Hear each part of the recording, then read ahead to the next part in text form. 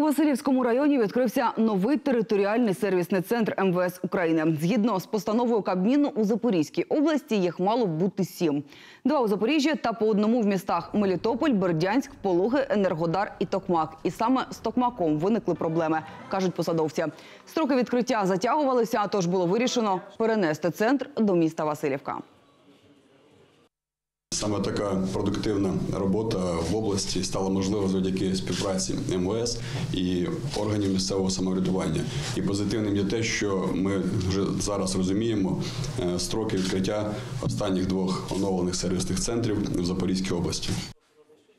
В цьому році планується також відкриття територіального сервісного центру МВС у Бердянську. Посадовці запевняють, в таких центрах висока якість послуг гарантована. Люди дуже добре пам'ятають ті наші старі МРЕО, куди треба було заходити і відкривати ноги ногами двері, бо руки були зайняті. Да? Ми пам'ятаємо ті речі, як людини, людині зареєструвати автомобіль, це було пройти через тернік зв'яздам.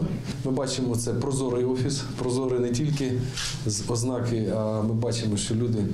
е, у людей, по-перше, відкриті офіси, і ми бачимо, що тут робиться.